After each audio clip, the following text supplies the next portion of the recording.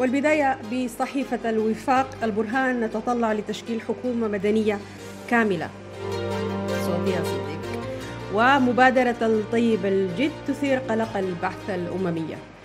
مالك عقار لم نوفد أحدا للمشاركة والتغيير.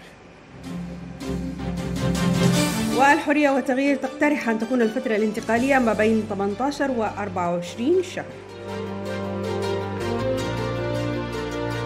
وصحيفة الوطن البرهان نتطلع لتوافق وطني وحكومة مدنية كاملة وزيادة كبيرة في أسعار السلع الغذائية وتوقعات بزيادة سعر الخبز.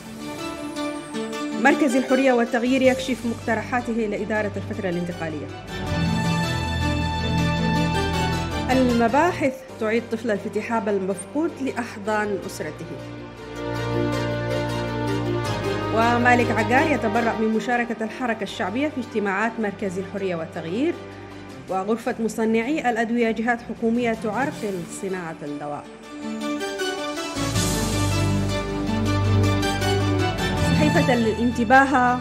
مفاصلة وشيكة بين عقار وعرمان. ورفض أمريكي مطلق لتدخلات أفورجي في الشرق وأيضا 140 تحالف و50 مبادرة تنضم لنداء أهل السودان أيضا اتجاه لرفع السعر قطعة الخبز الواحدة إلى 100 جنيه.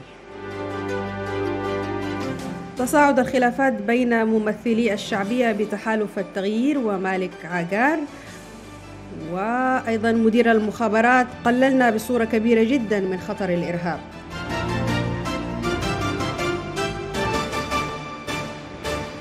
صحيفة السوداني تجمع الصيادلة انقطاع أدوية السرطان. ونشفي الجميع. بوادر انشقاق جديد في الحركة الشعبية شمال. تفاصيل مثيرة في العثور على الطفل المختطف مزمل كامل. وفولكر يصرح بداية ورشة نقابة المحامين واعدة.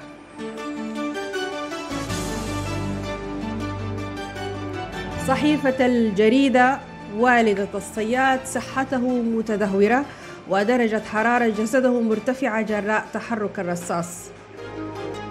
إذا مقترح لزيادة رسوم العبور بنسبة 600%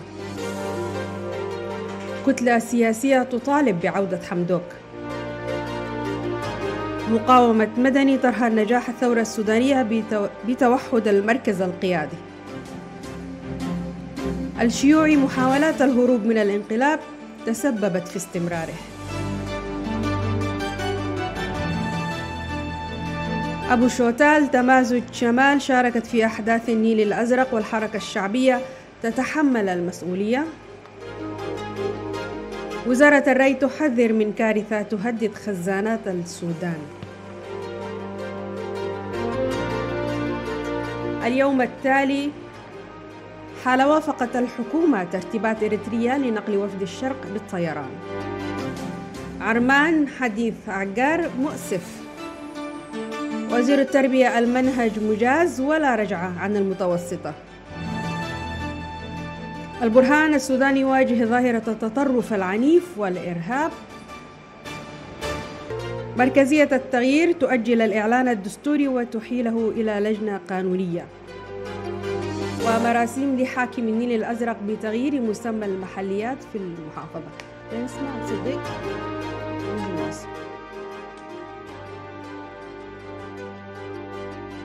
وصحيفة الصيحة البرهان الشعب يتطلع إلى توافق وطني شامل.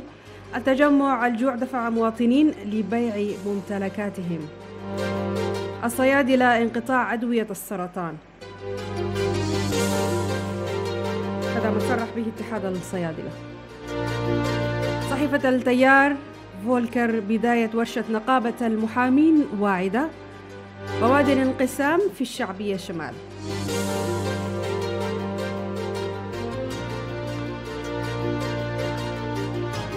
هذه عناوين الصفحة الأولى للتيار. وأخيرا صحيفة أخبار اليوم. تدشين ورشة الإعلان الدستوري بحضور فولكر وسفراء الإمارات والسعودية وبريطانيا والسعودية وب... والقائم بأعمال السفارة الأمريكية.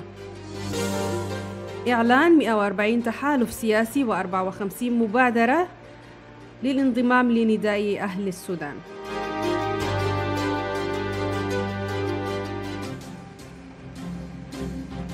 فقط هذا و... نكون قد ختمنا عناوين الصحف. خرطوم مصادر هذا الصباح قراءة تحليلية تكون إن شاء الله مساء في بعد بعد ولا بعد الطبع.